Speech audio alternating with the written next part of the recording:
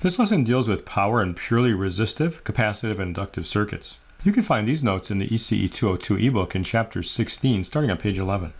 Let's first consider a purely resistive circuit with our default value of the voltage phasor and the current phasor.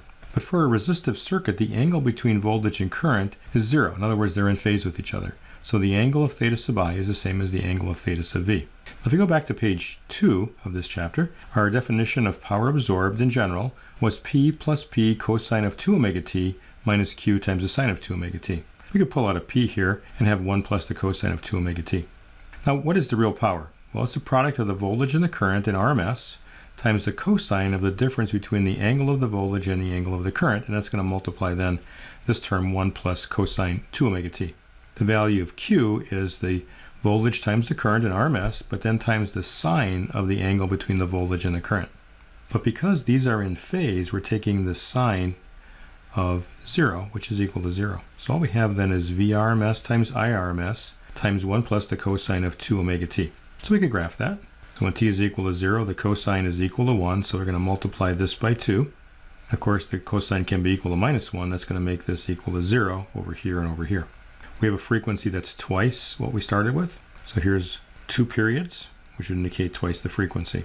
Now this is always a positive number, and the average value would be right here in the center, which is equal to VRMS times IRMS.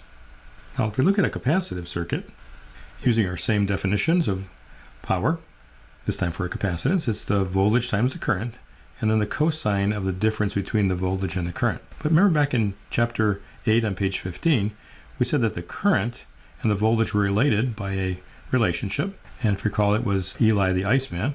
And so here I've got the angle of the current. It's going to be 90 degrees ahead of the voltage. In other words, the IC and E. So the difference of the voltage minus the current would be the theta of the voltage and minus 90 degrees plus theta sub V. And that's equal to minus 90 degrees. So in our definition for power absorbed, we now have the cosine of minus 90 and then the sine of minus 90. But the cosine of 90 plus or minus is equal to zero.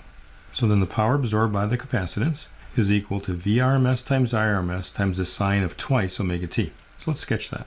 But because you have a sine wave, will be above and below the axis an equal amount for each period we have. And of course, we've got twice the frequency here. So we'll have one cycle and then another cycle. The average is equal to zero. And again, here's energy absorbed and here's energy generated or extracted. This would again also be plotted in steady state. Let's take a look at power in a purely inductive circuit.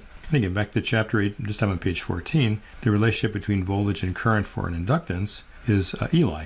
In other words, the voltage is ahead of the current by 90 degrees. So for our angle of current, it would be the angle of voltage minus 90 degrees. So the difference between the voltage and the current then would be a plus 90.